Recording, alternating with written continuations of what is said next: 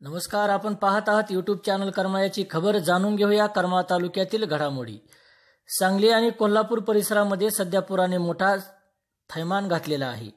सदर प्रसंगी बचाव कार्य राबवताना बोटींसह काही पट्टीच्या पोहणाऱ्या प्रतिनिधींची गरज या ठिकाणी भासू लागलेली आहे.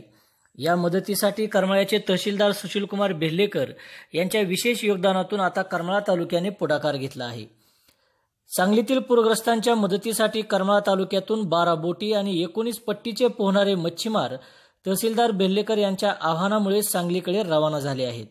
यामध्ये कंदर येथील सात बोटी व चौदा मच्छीमार तर कोंडार चिंचोली येथील पाच बोटी व पाच मच्छीमारांचा समावेश आहे. उद्या शुक्रवारी सकाळपासून ते मदत कार्यास सुरुवात करणार आहेत. विभागीय आयुक्त दीपक म्हैसकर यांच्या आदेशानुसार सांगली व कोल्हापूर भागातील पूरग्रस्तांना मदत पुरविण्यात ही आली आहे. पूरस्थितीत मदत म्हणून उद्याही काही मच्छीमारांना बोटीसह पाठविण्यासाठी जिल्हाधिकारी राजेंद्र भोसले प्रांताधिकारी ज्योती कदम यांच्या मार्गदर्शनाखाली प्रयत्न करणार असल्याची माहितीही तहसीलदार सुशीलकुमार बेर्लेकर यांनी दिली आहे.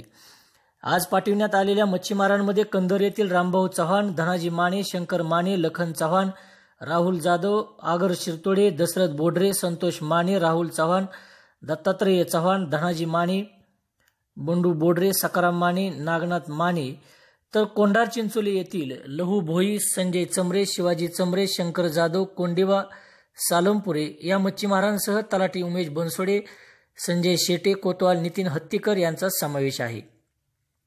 पूरग्रस्तांना मदतीसाठी बोटी मच्छीमार यांना पाठविण्याच्या नियोजनासाठी तहसीलदार बेल्लेकर हे आज दिवसभर उजनी पट्ट्यातील गावांमधून फिरून मच्छीमारांना आवाहन करताना आढळून आले.